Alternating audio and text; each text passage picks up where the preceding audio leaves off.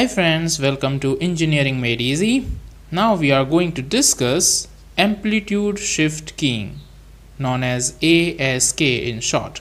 Here we will understand what is ASK, the concept of ASK, its definition along with the waveforms of ASK, okay, how it looks like. We will also see the mathematical representation of ASK waveform okay? Not only this we will also discuss here the generation of ASK signal. We will see its uh, block diagram how it is uh, generated.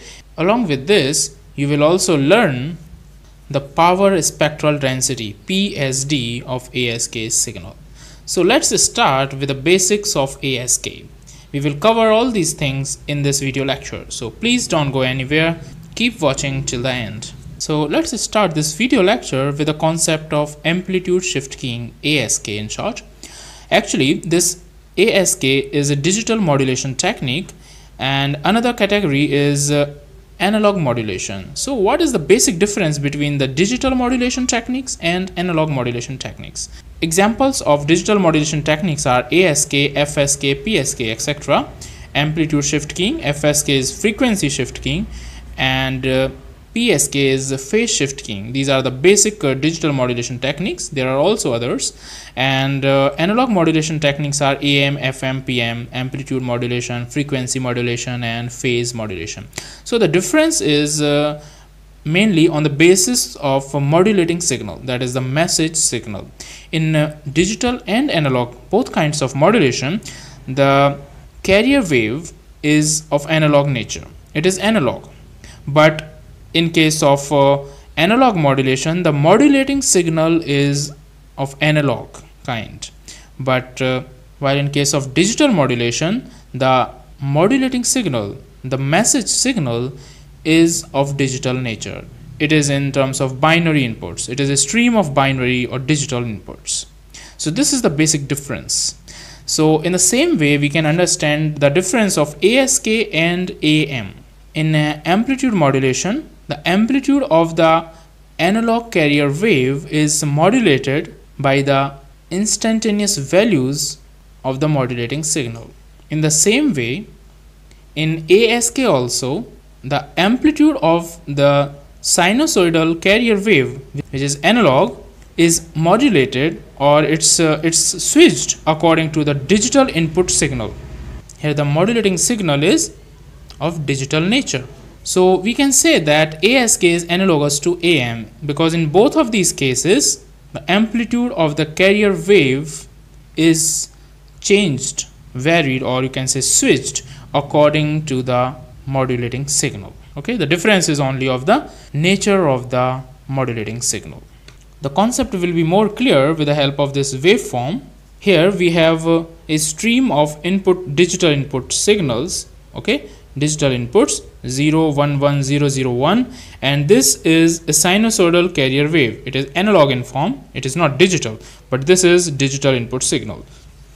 So whenever it is 0 input is 0 then no wave is transmitted. There is no transmission. Transmission is 0 but when it is 1 then a continuous sinusoidal carrier wave is passed okay? So it is 1 and here it is also 1 so from here to here we transmit this part this continuous carrier wave. Okay? When it becomes 0 again then no transmission is done. The carrier wave is not passed. Okay? And again here it is 0 so it is 0 here and 1 so from here to here we transmit this carrier wave. So at the places where it is 0 no transmission is done and uh, where it is 1 we transmit this continuous carrier wave which is analog. So this is the ASK amplitude shift keying. You can see here as per the digital uh, input the carrier wave transmission is affected. Okay? Whenever it is 0 no transmission is done. And when it is 1 the carrier wave is transmitted. So this carrier wave has been modulated as per the variations in the digital input signal. It has been switched according to this digital input stream of signals. Here it is also written that it is known as on off keying OOK since in this modulation technique the carrier wave is switched on or off based on the input binary sequence. Now we will understand the generation of binary amplitude shift keying. So let's see the generation of uh, amplitude shift keying ASK signal. Here we can generate this ASK signal simply by uh, applying incoming binary data. This uh, binary data we have seen the input is in the form of binary streams ones and zeros. It is digital in nature. So we apply this uh, incoming binary data and the sinusoidal carrier to two inputs of a product modulator. That is a balanced modulator so for the generation of uh, ASK signal what we do we have a product modulator which is a balanced modulator. At the two inputs of this product modulator we apply at the first input we apply binary wave in unipolar form binary stream okay? Digital data in uh, ones and zeros form okay? At the one input and at the other input we apply the sinusoidal carrier signal and the resulting output that we will obtain will be the binary amplitude shift keying waveform okay? It would be ask signal. So the process of generation of ask is simple. We just uh, apply this binary waveform at the first input and at the second input of this product modulator we apply the carrier wave and their product results in the binary ask signal one thing that you should notice here that this binary wave is in unipolar form. Unipolar means only one pole is there. Uh, it means uh, we transmit uh, when we have a 1 as the input then we transmit the continuous the analog form of carrier wave sinusoidal carrier wave. And there is no transmission when the input is 0 carrier wave is not transmitted when the input signal is 0 so it is having only one pole it is not like uh, when it is uh, 1 then it is transmitted it does not have any negative component no transmission and transmission. These are the two cases for 0 and 1 respectively. Now let's analyze the power spectral density of the ASK signal. Here you need to understand that the modulation causes a shift of uh, the baseband signal spectrum. There is a shift in the spectrum, power spectrum of the baseband signal that is the modulating signal. Since we have seen already that uh, we get this ASK waveform at the output of the product modulator which is the product of the binary sequence and the carrier wave. It has the power spectral density also known as PSD in short same as that of the modulating on-off signal that is baseband on-off signal but it is shifted in frequency domain by plus minus FC. Here it has been shifted. You can also notice here that the two impulses this and this happen at uh, plus fc and minus fc that is plus minus fc have two impulses okay? In this power spectral density. This is the power spectral density of ask versus frequency curve.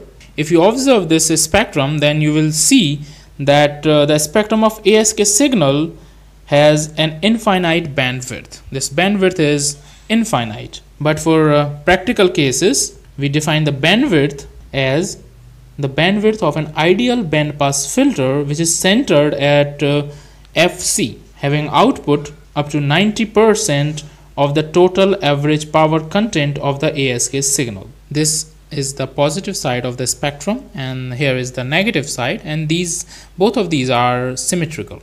Okay? Everything is symmetrical. Now we will see how we can mathematically represent amplitude shift keying ASK this is the mathematical representation so let's see let's say that we represent the carrier wave as a cos of 2 pi fct here a is the peak value of the sinusoidal carrier wave. This is the carrier wave okay? And uh, this is a sinusoidal wave.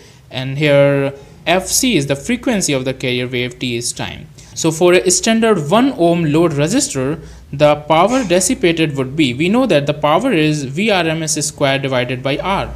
And Vrms is written as V max, maximum peak divided by root 2. So it's a square, whole square divided by 1. We are taking R as 1 ohm load standard resistor. Okay, so it is 1. So if you solve it, we will get uh, V max is what? V max is here A. Okay, a is the maximum amplitude.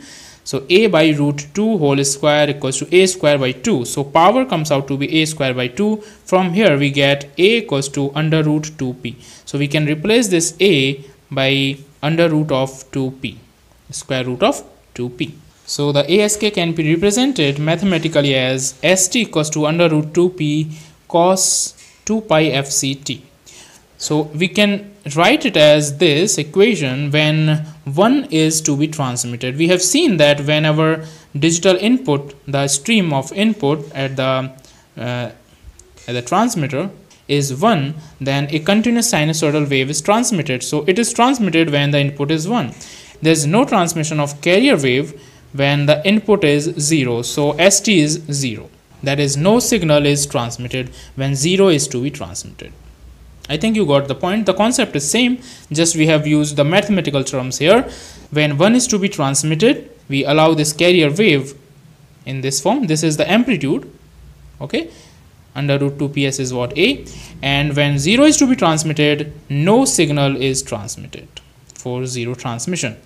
So this is the mathematical representation. I think it's very simple. So this was all about amplitude shift keying. We discussed here its definition, its concept, the mathematical representation, power spectral density, and how to generate the block diagram of the generation of ASK. In the next videos, we will see the demodulation of uh, ASK. We will also see the frequency shift keying and phase shift keying also. So keep watching Engineering Made Easy. Till then, bye-bye. Friends, for more such videos, you can uh, subscribe my channel, Engineering Made easy. And please don't forget to like and share the video if you liked it.